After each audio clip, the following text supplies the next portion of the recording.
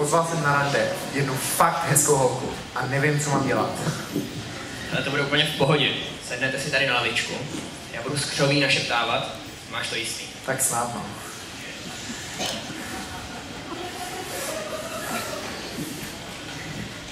Ahoj.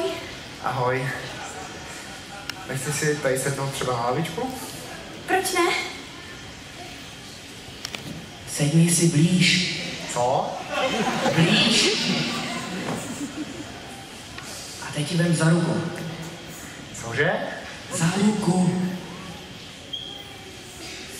A teď, teď ti vezmi za trup. Co? Za trup.